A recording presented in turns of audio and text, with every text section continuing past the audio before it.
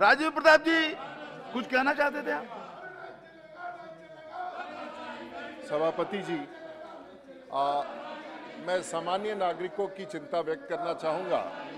और जैसे ही ठंड का मौसम आता है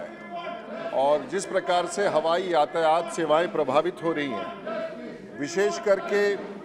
देहरादून हो पटना हो रायपुर हो इन सभी स्थानों से उड़ने वाले सुबह के विमान विलंब से चलते हैं, जिसका परिणाम होता है कि दिल्ली में आकर के सब एकत्रित होते हैं और लगातार तमाम आगमन विलंब से भारत में चल रहे हैं। और इसके पीछे मुख्य कारण है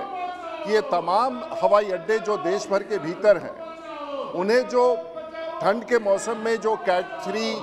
व्यवस्था होनी चाहिए, जिस प्रकार से जो यंत्र लगने चाहिए उन यंत्रों के नहीं लगाए जाने के कारण लो विजिबिलिटी टेक ऑफ्स नहीं हो पाते हैं और परिणाम स्वरूप ये सभी विमान लेट होते हैं और देश भर के लाखों पैसेंजर्स को इसकी कठिनाई का सामना करना पड़ता है। महोदय कर विशेष रूप से बिहार में।